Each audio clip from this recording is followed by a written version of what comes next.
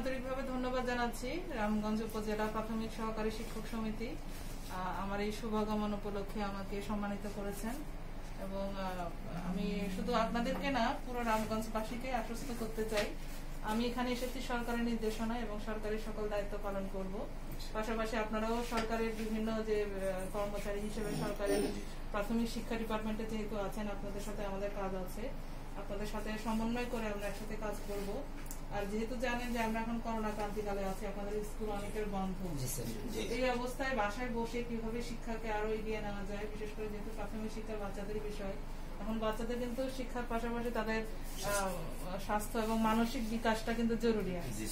আমি বলব যে এই সময়টা আসলে বাচ্চাদের মানসিক বিকাশটা চরমভাবে ভেঙে পড়েছে। তো আপনাদের শিক্ষক হিসেবে এটাই আপনাদের কাছে আমার নির্দেশনা থাকবে যে বাচ্চাদের আপনারা যেহেতু এখন ক্লাস নেই আপনারা প্রয়োজনে শিক্ষার্থীদের বাড়ি বাড়ি গিয়ে একটু খোঁজ খবর রাখতে পারেন। তারা কিন্তু আপনাদের দেখলেও কিন্তু খুশি হবে। তো এই বিষয়টাও কিন্তু একটা জরুরি দরকার। শিক্ষক যে তারা ভাববে যে তারা স্কুলে আছে তাদের শিক্ষকরা তাদের সাথেই আছে।